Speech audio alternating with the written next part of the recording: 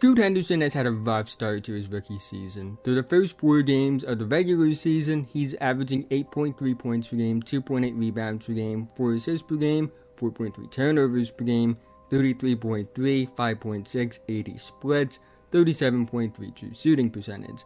This is somebody I said all preseason was one of the most NBA ready point guard prospects to enter the NBA. In fact, I said he's the most NBA ready teenage point guard prospect I've ever evaluated. So, why is he struggling to start his rookie season? What's been the cause of his struggles? Should there be reason to be concerned? Well, that's what I want to talk about in this video. But quickly before we go any further, if you're new and like basketball, I'd really appreciate if you would like, subscribe, and hit the notification bell to be notified whenever I release a video. I make videos about basketball all the time, and liking and subscribing are the two best ways can help me out in the YouTube algorithm, help support the channel, and help me reach my goal of 10,000 subscribers by the end of the 2024 NBA season. Let's try and get 100 likes on this video so YouTube will recommend it to others. Anyways, let's talk about Scoot Henderson.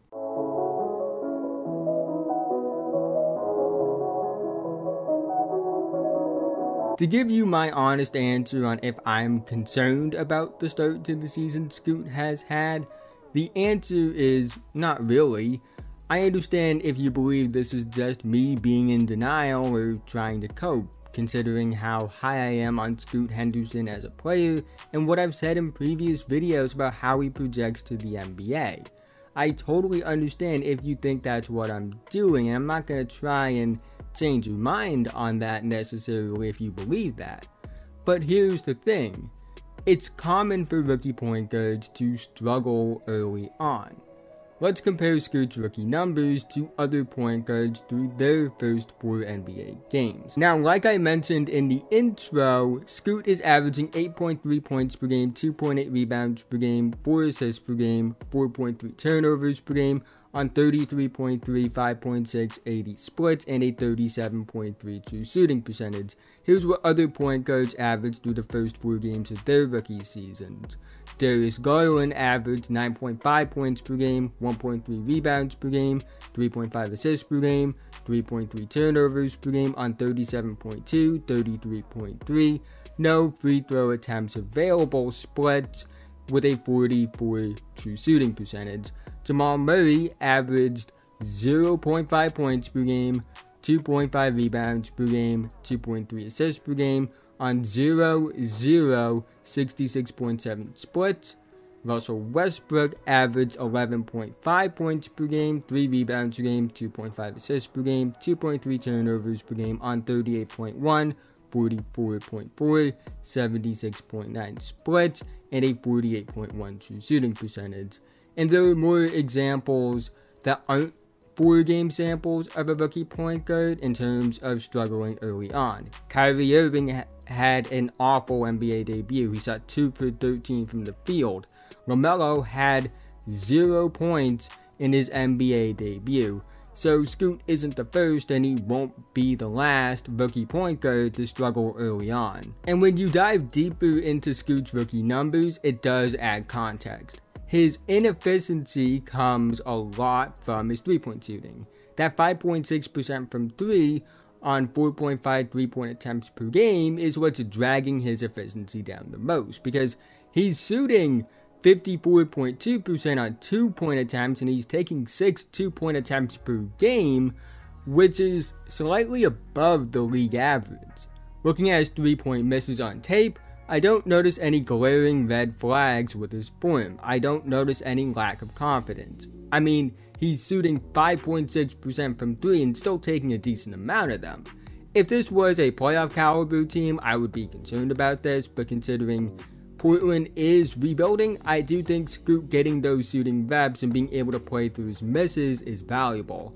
I don't think he will be a great three point shooter long term, but I do think the shots will eventually start to fall, and I don't think he will be this level of bad as a shooter from 3 over the course of his rookie season. Another thing I noticed with Scoot on tape is he doesn't have a great grasp of how refs are gonna call him in terms of foul drawing. I feel like on his drives he's trying to draw fouls and expects calls with rather marginal contact a lot of his misses at the basket to me feel like he's trying to draw a foul instead of using his quickness and strength to try and finish at the basket strong. Eventually, he's going to have to realize that he's too strong and physical to get calls that someone like Trae Young does. And because of how physically imposing Scoot is, he's going to have to learn that teams will be more physical with him when he attacks the basket. Another thing is he sometimes has been limited in how aggressive he is because of the fact he's in foul trouble. And he can't be as aggressive as he needs to be given his strengths as a player because of the risk of picking up an offensive foul. I think once he sharpens his foul discipline and adjusts to the physicality he's gonna have to deal with based off how strong of a player he is, he will get better as a finisher. He also needs to clean up his turnovers, be more thorough on his pass attempts, protect the basketball better, be more in control on his drives, things you expect from a rookie point guard. So I'm not too worried about them, especially from an athletic based point guard like Scoot. These things are very common. I think with reps, given how smart of a player he is, he will eventually start to clean up those things. And I'll be honest, on tape, it's not like he's been just a negative and there's nothing encouraging. Because there have been positive signs through these four games on tape. Signs that we all saw prior to the NBA, signs that made myself and many others so high on him as a prospect.